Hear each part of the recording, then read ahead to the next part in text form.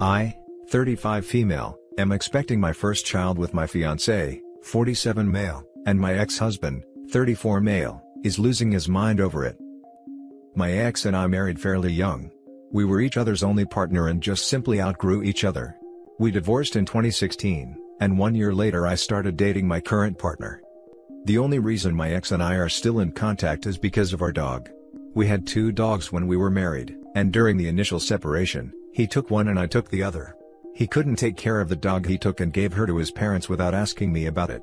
I would have taken her, and then regretted it, and threw a fit about not being able to see the other dog.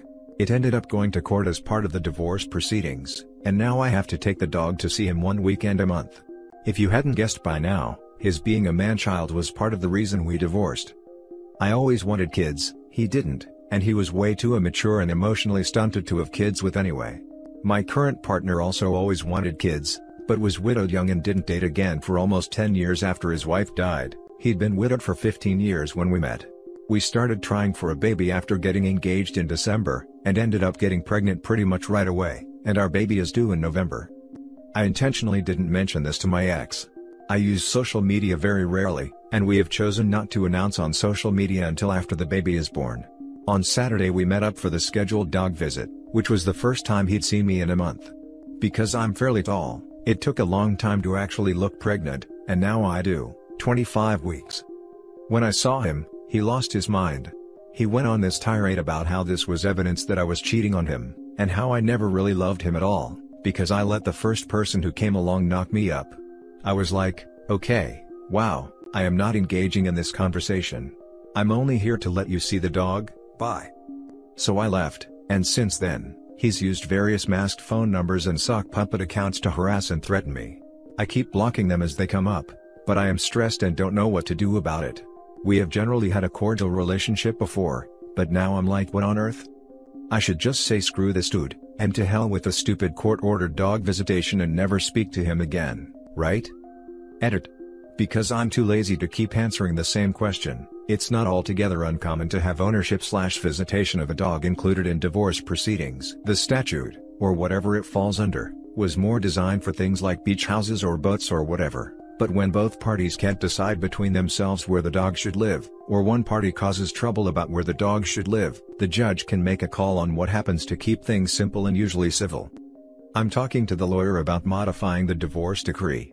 I know it's not going to stop anyone, but the comments about my current relationship are getting a little ridiculous, as are the ones about the dog custody agreement or whatever you want to call it. You know literally nothing about my current relationship. And trying to make weird judgment calls about it just makes you look stupid, as does being hung up on the dog aspect of the story. Now for the top advice. I would keep a record of everything he says and does. If it's legal in your state, record all visits with the dog. If he keeps it up, take him back to court over the dog, and have his custody removed for your own safety. She should also see a lawyer and get a restraining order against the ex. Report it to the police that he's been hostile and harassing you non-stop, and you don't feel safe bringing the dog to him. Then you cover your butt a little bit, and maybe the officers can give you some helpful advice. Stay safe. Agreed. And OP should make it very clear that the threatening behavior started when he found out she was pregnant. If the police have even two brain cells to rub together, that should ring alarm bells. Not sure where in the world you are? Do not violate the court order. Get a restraining order as he is harassing you. Save every text. Document every number he calls you from and get a lawyer. Play up the pregnant and scared of your ex. In fact, be scared of your ex. I'm not saying he would hurt you, but it has happened before. Don't let the dog be alone with him either, since he could hurt the dog to hurt you. If you have to take the dog for these meetups, don't violate the court order, request an escort slash custody monitor.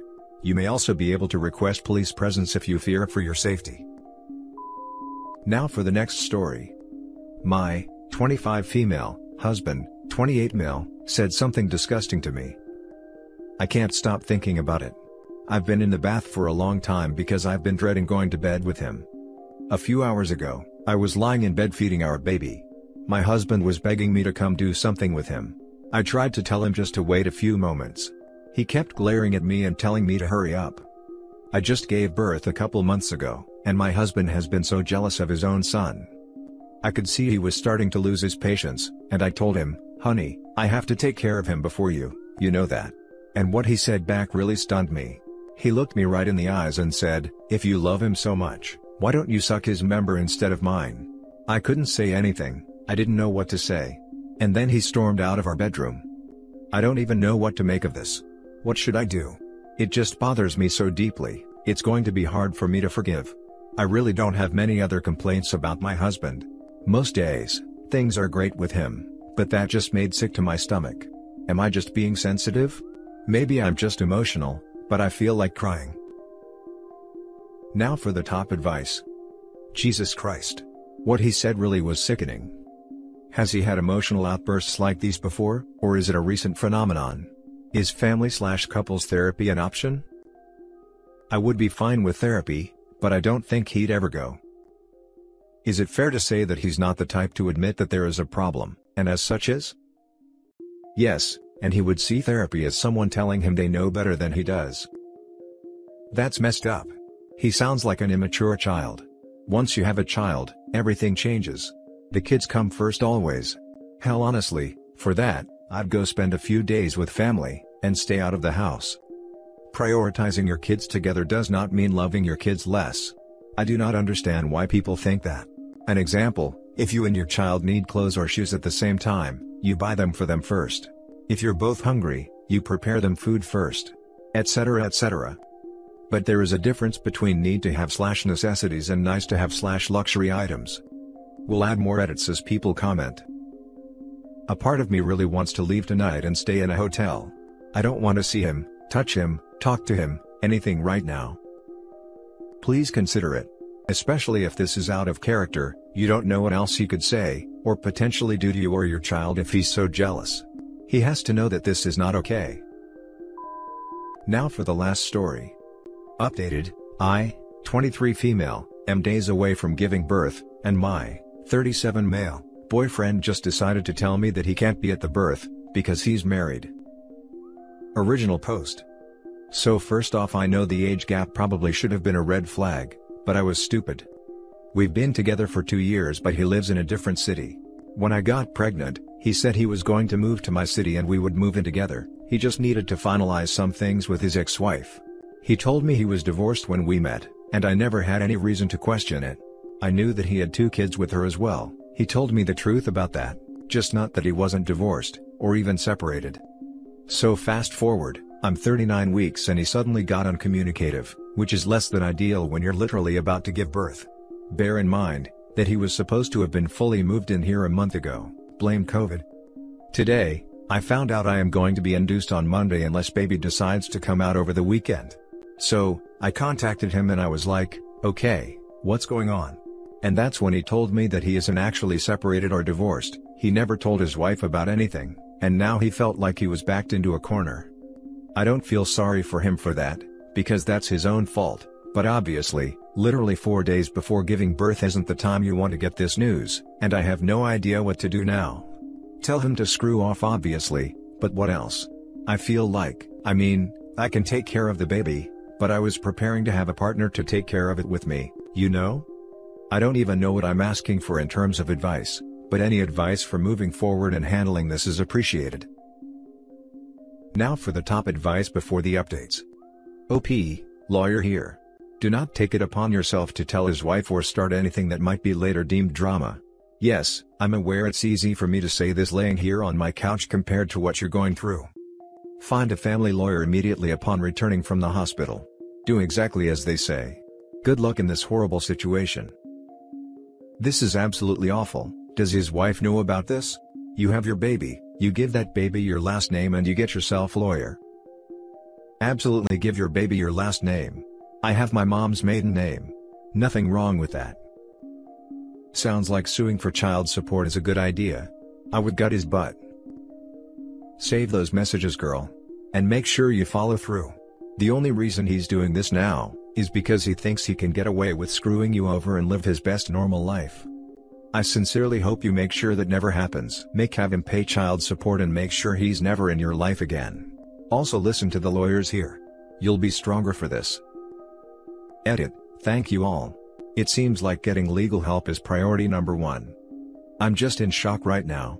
Like I almost feel numb, but I really appreciate everyone here for your help. I was really happy and looking forward to baby, and I just feel really sad right now, so I need to take a breather. Everything is ready for the baby and I'm still excited to meet them, but Jesus. Edit 2, in addition to all kinds of weird comments, I'm getting all kinds of weird PMs, so I think I need to just take a deep breath, walk away, mindlessly binge watch something stupid for a while, and cry my face off tonight.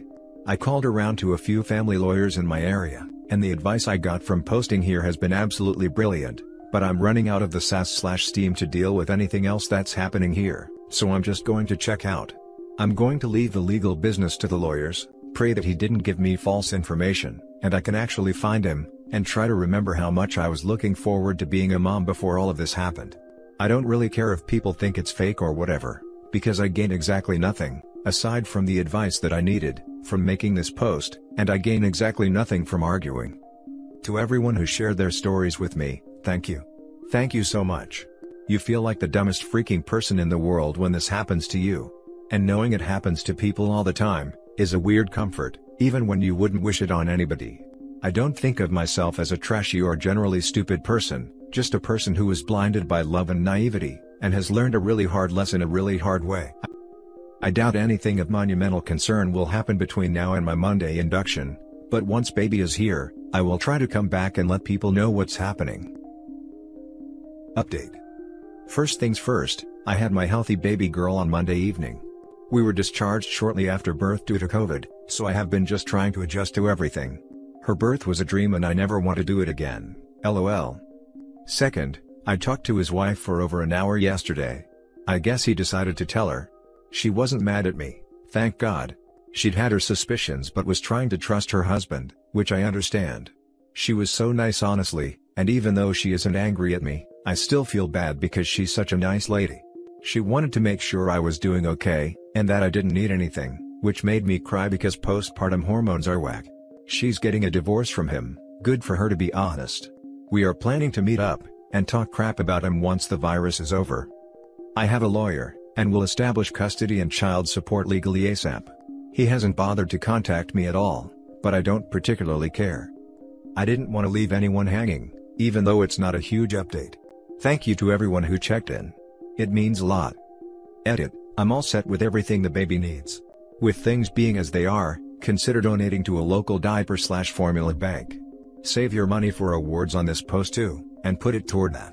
Help babies and mamas who don't have the resources I do. Now for the closing comments. The wife sounds like an amazing and understanding human being. Hopefully you have been gifted with an amazing friend after this, if anything. I really hope OP and the wife form a friendship and can be there for each other. It's wonderful that his wife places the blame squarely where it belongs. On her husband and is reaching out to OP that's the kind of compassion and love we need in this sorry world. Edit, of course she's not obligated to do so or anything. Jesus, I was just saying it was a lovely thing to hear. Everyone can stop blowing up my inbox with insults now. Find something else to be mad about. So glad you're doing okay and the birth went well. That's also awesome the wife and you have become friends, and she's kicking him to the curb. It sounds like he's getting what he deserves. Good luck on your future with your new baby girl. I have a friend who was married to a cheater. She eventually befriended the mistress, who became wife number two. Then he cheated on number two and they got divorced. When he married the new mistress, friend and number two came as each other's dates and danced the whole night, laughing. The point is, this too shall pass. Keep your head up and try to be kind to each other, because your baby has half siblings she may want to know someday. Good luck. Also, screw that guy. That's hilarious, but who invites their ex-wives to the next wedding? And that's it for this video guys, if you have thoughts to share, leave a comment below. Don't forget to hit like and subscribe if you like this content. I'll catch you in the